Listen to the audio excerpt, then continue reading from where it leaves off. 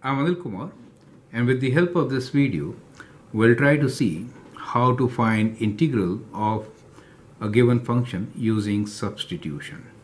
So I'll walk you through the steps or the thinking which goes behind in substitution. So when you have a function like given to us, we have integral of square root of 1 plus x squared x to the power of 5 dx. Now this is not an easy function to work with, but let's see how to really answer such a question if you get in a test. Now first thing you see is that square root of something. So we could treat that something as a function to be substituted. So, so we can say that u equals to 1 plus x squared to begin with.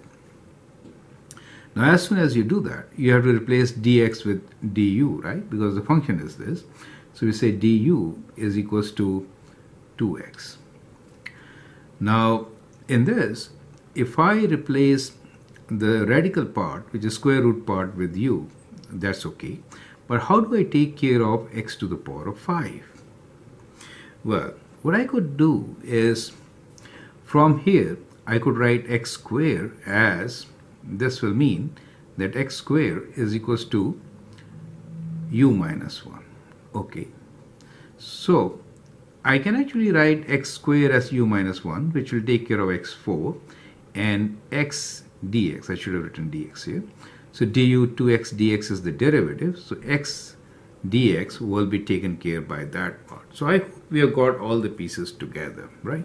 So now we'll rewrite this integral function. So what we have here is integral of 1 plus x squared and instead of x to the power of 5 let me write this as x to the power of 4 x dx right?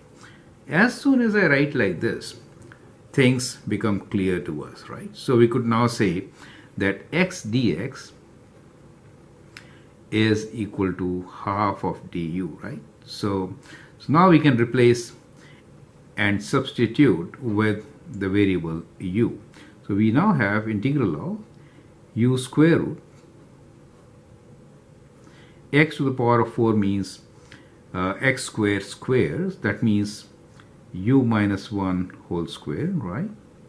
And x dx by half du. You get it right?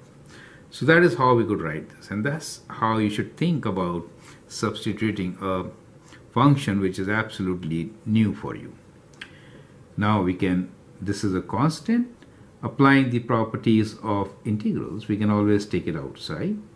Now here we do not have any product rule so we need to actually multiply apply the distributive property and then we can easily find integral of this.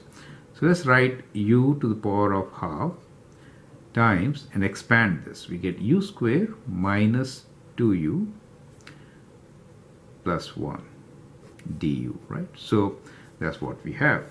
And if I expand it I get half integral of so u to the power of half plus 2 that means 4 by 2 minus 2 times u to the power of half plus 1 that is 3 by 2 plus u to the power of half right du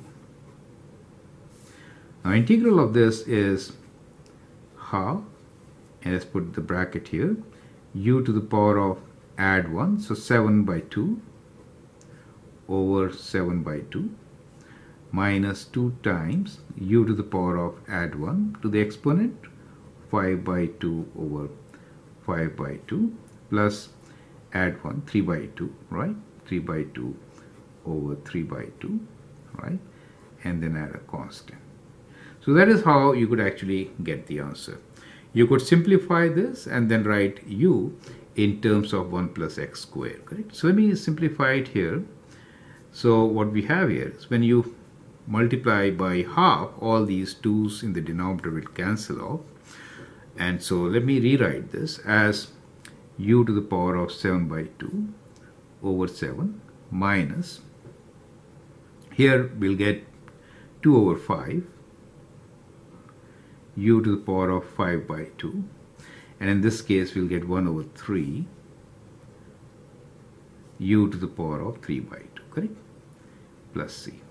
Now this could be written as u is 1 plus x squared. So we'll write 1 plus x squared to the power of 7 by 2. So either way you could write. You could write in this form also. Uh, to the power of 7 and then square root. You could do that. Over 7 minus 2 over 5 u is 1 plus x square to the power of 5 square root plus 1 third u is 1 plus x square cube square root plus c, right? So that becomes our answer for the given integral. I hope the steps are clear to you. So the idea is begin with the complicated part of the function, substitute a variable, find its derivative and see how things can fit in and then move on. I hope this strategy helps to find integral of functions with substitution. I'm Anil Kumar. You can always share and subscribe to my videos. Thanks for watching.